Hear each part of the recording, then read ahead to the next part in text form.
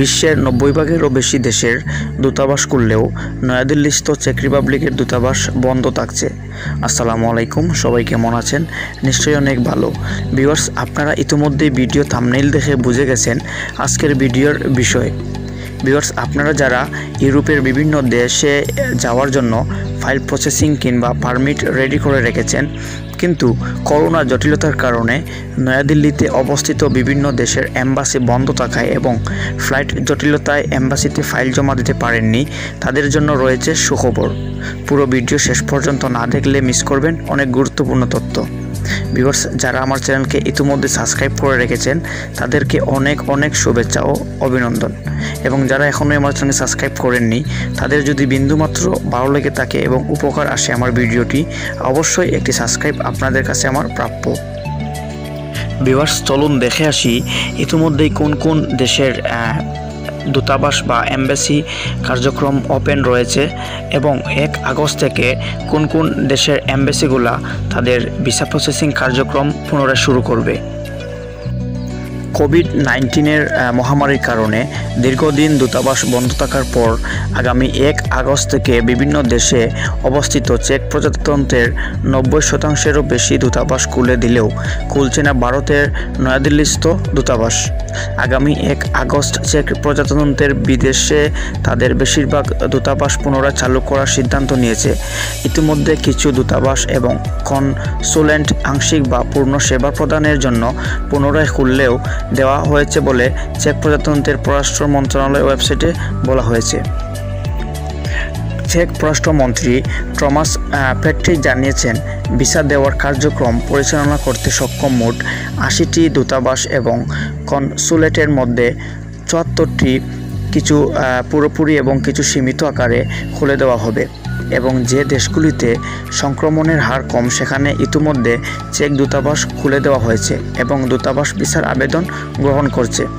সীমিত আকারে যে দূতাবাসগুলো খুলে দেওয়া হবে, সেখান সেখানে কেবলমাত্র চেক নাগরিকদের, পরিবারের সদস্যদের পূর্ণমিলনী ভিসা, স্টাডি পারমিট এবং কিছু সুনির্দিষ্ট ক্যাটাগরিতে ওয়ার্ক পারমিট ভিসার জন্য আবেদন গ্রহণ করা হবে বলে পররাষ্ট্র মন্ত্রণালয়ের ওয়েবসাইটে বলা হয়েছে।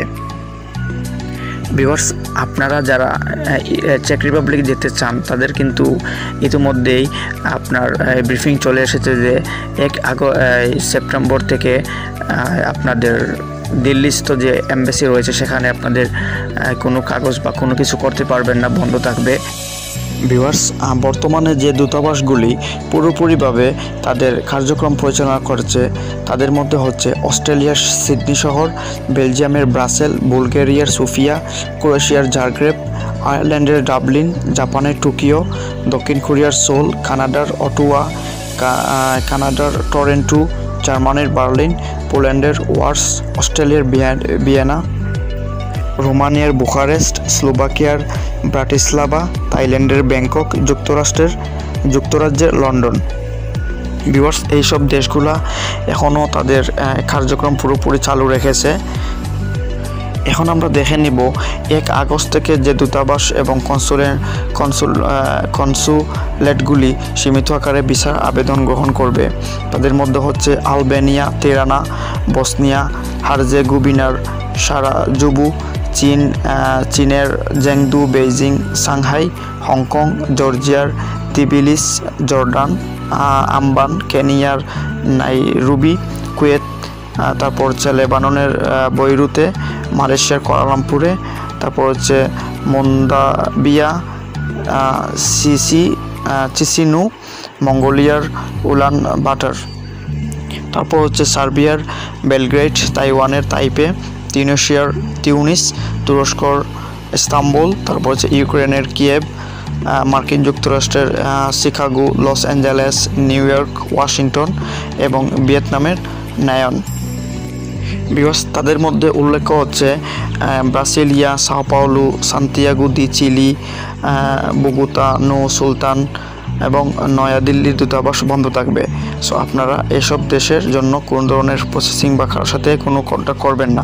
এদেশের ভিসা আপনার দূতাবাস কিন্তু বন্ধ রয়েছে। সো ভিউয়ার্স আমি আপনাদের দেখালাম যে বর্তমানে কোন কোন দেশের আপনার কার্যক্রম চালু রয়েছে এবং এক আগস্ট থেকে কোন কোন দেশের কার্যক্রম শুরু হবে। সো ভিউয়ার্স আপনারা ওয়েট করেন, কেননা দিল্লি ইন্ডিয়া টু বাংলাদেশের ফ্লাইট কিন্তু বন্ধ রয়েছে করোনার জটিলতার কারণে। ইনশাল্লাহ আগামী মাসের সেপ্টেম্বরের ফার্স্ট উইকে এটি ওপেন হওয়ার কথা। তো আপনারা এর জন্য ওয়েট করেন ইনশাল্লাহ এরপরে আপনাদের কার্যক্রম পুনরায় শুরু করতে পারবেন। সো বিবাস আজকের ভিডিওটি এখানেই শেষ করলাম। ইনশাল্লাহ অন্য কোনো এক ভিডিওতে দেখা হবে আবারও। আল্লাহ হাফিজ।